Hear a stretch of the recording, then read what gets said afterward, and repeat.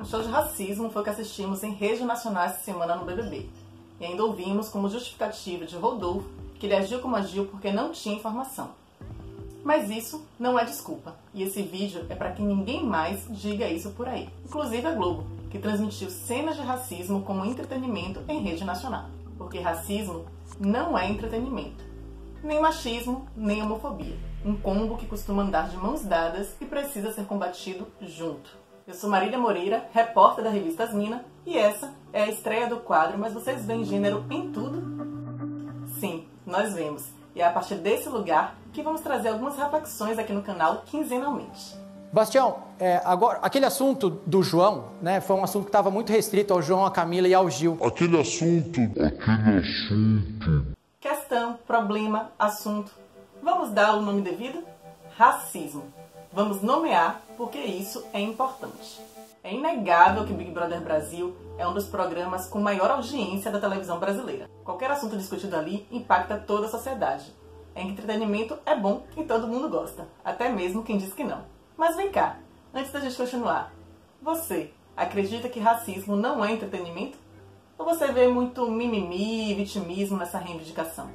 Seja qual for sua resposta, fica aqui. Assiste esse vídeo até o fim que eu tenho certeza que você vai aprender coisa nova hoje. Hoje eu vou explicar porque não dá para falar de feminismo sem falar de racismo e vice-versa.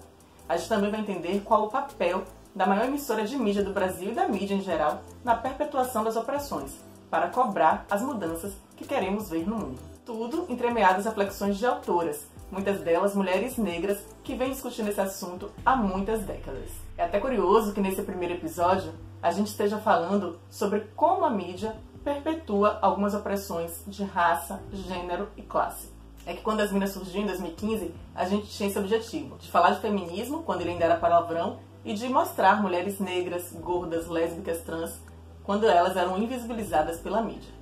A gente faz um jornalismo que realmente está a favor dos direitos das mulheres e de uma sociedade mais justa e menos desigual. Pena que em pleno 2021 a gente ainda tenha de ver essas coisas. Olha lá, mandaram um vestido pro Fiuk, e não zoa não, que eu gosto de vestir. Como é que leva esse menino de vestido pras boates lá em Goiânia, ô Sara? Pelo meu cabelo. Mas eu Mas tá com o cabelo quase igual do Mas... Não saber, não ter a intenção, ter uma mãe, ter um amigo gay, um parente preto, não podem ser desculpas pro racismo e pro machismo.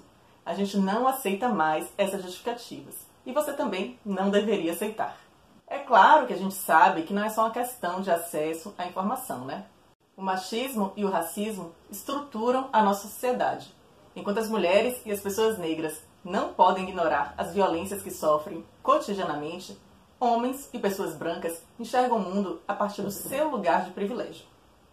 Um privilégio que vem da história do Brasil, que se construiu em cima da escravização de pessoas negras. Isso faz com que eles acabem acreditando que esse é o único mundo possível, mesmo porque se beneficiam diretamente da estrutura racista. E é justamente essa a lógica que faz com que eles compactuem com a violência racial. Ao nascer branco ou branca, naturalmente você já nasce com privilégios. A cor da sua pele lhe assegura oportunidades que não são garantidas a pessoas pretas, apesar de muitas vezes se tratarem de direitos básicos. Quer ver só um exemplo? Essa semana soubemos que 19 milhões de brasileiros estão passando fome. Chuta quem são a maioria deles. Agora também foi aprovado que o setor privado compre vacinas e fure a fila do SUS. Quem são os desempregados que não vão poder se beneficiar disso? Mas você acha que eu estou problematizando demais e que nada disso tem a ver com o BBB?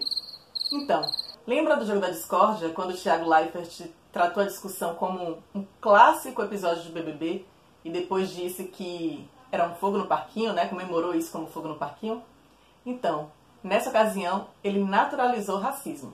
A postura da emissora durante ao vivo também foi de dar um close no rosto de João enquanto ele chorava, e isso pegou muito mal, porque reforçou o racismo como entretenimento.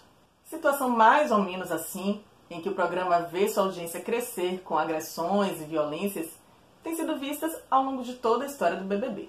Mas nas três últimas edições, isso tem sido mais questionado, justamente porque temos mais participantes negros e temos também a internet, as redes sociais, disputando narrativa com a emissora. Mas por que a produção só fez um pronunciamento oficial agora? Oficial ou quase, né? Porque no ao vivo, Thiago Leifert desligou o modo apresentador e disse que ia falar com os participantes como um fã. Também disse para Rodolfo que ia falar de homem branco para homem branco. E em nenhum momento nomeou o assunto como racismo. E é por isso que eu tô aqui para conversar com você, de homem branco para homem branco. E a gente sabe da importância de dar o nome correto aos problemas sociais que vivemos. Caso contrário, a gente estaria até hoje chamando de crimes passionais os feminicídios, por exemplo. Ou estaríamos presos à ideia de que a violência contra a mulher é só agressão física, desprezando uma série de violências como a sexual, a psicológica e a patrimonial. Como diz Jamila Ribeiro no pequeno manual antirracista, devemos aprender com a história do feminismo negro a importância de nomear as opressões, para que assim a gente combata todas elas. A gente não pode combater o que não tem nome. Para combater o racismo, a palavra não pode ser um tabu. E a branquitude, que mantém essa estrutura toda, precisa se implicar de forma séria no debate. De acordo com a TV Globo, após dois meses no ar, a audiência do reality show superou a das sete edições anteriores em relação ao mesmo período. Já pensou no poder de mais de 40 milhões de pessoas se questionando sobre a dimensão estrutural do que foi visto ali? E não falo só de racismo, não. Nessa edição também vimos xenofobia, misoginia aos montes. E nada disso foi devidamente nomeado. Não nomear ou individualizar o racismo tem consequências desastrosas.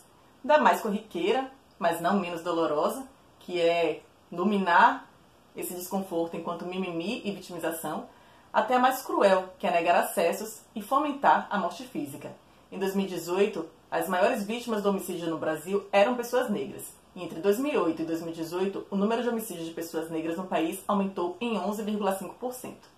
Apesar de o Brasil ser um dos países que mais mata LGBTs no mundo, os indicadores oficiais sobre a violência que atinge essa população também são escassos. Mais uma prova de como as questões relativas à identidade de gênero e orientação sexual não são levadas em conta. A teórica feminista estadunidense Bell Hooks diz que as formas de representação midiática são tão poderosas que ensinam as pessoas negras a internalizarem o racismo tão profundamente que nós, pessoas pretas, somos capazes de sentir prazer com imagens de destruição e morte da nossa população. Para que isso mude, é preciso mudar coletivamente e criar um mundo onde todos possam olhar para a negritude e para as pessoas negras com novos olhos. E quando a gente fala de Brasil, isso ganha contornos ainda mais específicos, porque aqui a gente tende a camuflar o racismo com humor e também entender que bandido bom é bandido morto e quase sempre esse bandido é preto. A televisão brasileira é cheia dessas microagressões, que parecem naturais, casuais, mas reforçam o lugar do racismo. Nessa semana, a gente viu em Amor de Mãe a morte de dois homens negros, um deles advogado e o outro traficante, além do sofrimento intenso de uma mulher negra, a professora Camila, que faz reviver na população negra sentimentos de que a gente não vai ter direito a final feliz, nem mesmo na ficção. No desabafo nas redes sociais, a atriz Jessica Ellen disse o seguinte: pare de nos matar na vida e na dramaturgia, criticando a violência excessiva contra personagens negros.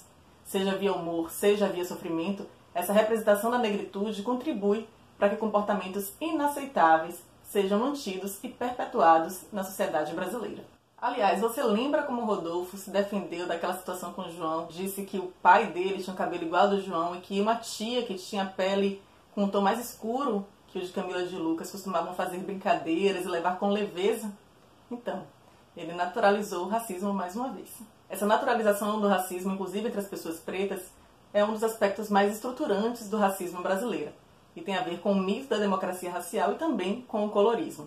Existe no Brasil a ideia de que vivemos em uma democracia racial e que todas as pessoas têm direitos iguais porque isso está garantido na lei. Mas na prática isso não funciona bem assim. Já colorismo, bem, esse é um assunto longuíssimo, complexo, e a gente pode falar dele aqui outro dia. E quando a Globo exibe racismo como entretenimento sem nomear essa violência, ela acaba mantendo esse sistema de opressão. A pesquisadora Cida Bento tem um nome para isso, Pacto Narcísico da Branquitude, que é quando tudo é feito para manter interesses e privilégios. Você lembra que Rodolfo só ouviu o Tiago quando ele falou de homem branco para homem branco com ele, e ainda assim não foi muito? Ou seja, não ouvir, não enxergar as pessoas negras também é racismo. Como disse Bell Hooks, é renegar-nos ao domínio do invisível. E a gente não pode esquecer que as mulheres negras são as que mais sofrem com isso, porque sofrem duplamente, tanto com racismo quanto com machismo. E nossos coadjuvantes temos aqui quem? A amiga sensitiva da protagonista, a amiga que segura a mão na hora do choro. A pensadora Patricia Hill Collins fala sobre como são criados certos papéis nos quais as mulheres negras devem se encaixar. Ela chama essas imagens de imagens de controle, que são representações opressivas que partem de raça, gênero e classe e tentam dizer o que uma mulher negra pode ou não ser. Essas imagens de controle podem variar de acordo com cada sociedade, mas no final elas têm essa função: controlar. Um bom exemplo é a ideia de que a mulher negra tem que ser paciente e explicar com calma o racismo para os brancos. Então hoje eu já me coloco numa posição de não aceito mais. Também não quero mais ficar ensinando. E se as pessoas falam, ah, é mimimi, estão cansadas de ouvir isso, eu estou cansada de ter que falar também. Se é cansativo para vocês ouvirem, é cansativo para mim viver. Por aqui, o meu sentimento e o da equipe da revista Mina é o mesmo de Camila de Lucas. Sente o mesmo por aí? Então manda esse vídeo para quem vier te pedir explicação sobre racismo. E se inscreve aqui no canal para receber em primeira mão os próximos vídeos. Ah, e se você ainda não assina a newsletter, assina também. Nessa semana a gente vai dar dicas de autoras negras para complementar esse debate. Por favor, cara pessoa branca, estude, estude, ouça pessoas negras e tente não perpetuar o racismo. É sua obrigação.